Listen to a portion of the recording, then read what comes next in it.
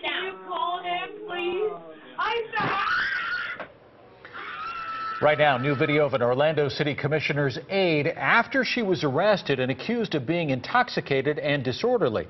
It all went down Friday night at the Plaza Cinema Cafe in downtown Orlando. Cara Reaves is the aide to newly elected City Commissioner Regina Hill. Tonight, Reaves also faces a felony charge of battery on a law enforcement officer.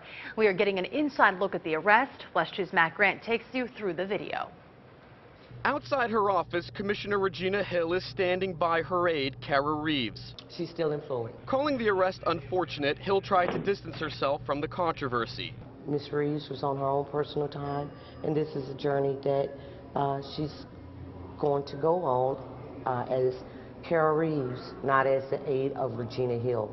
She was not representing my office uh, at the time. Hill told reporters she hasn't seen the video, but when I offered to show it to her, she didn't seem interested. We can show it to you if you want. Sir, I have another meeting to go to right now.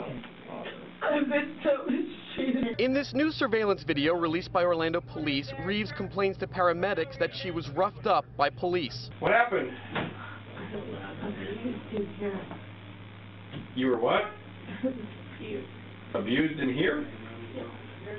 All right, well, uh, let's get you up and find out what's going on. I don't think that happened because you're being videotaped. The video shows Reaves appearing to hit her head twice. First, when she refuses to sit down. I said. Oh. Real well. Second, appears to be an accident when her and a female officer fall down together. In the video, Reaves accused officers of arresting her because she's black and because she works for a commissioner.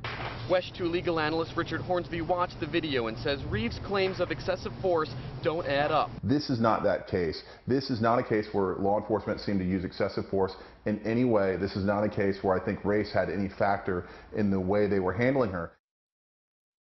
That was Matt Grant reporting. Now, we did reach out to Reaves for comment. However, uh, she had no comment. We have not heard back from her.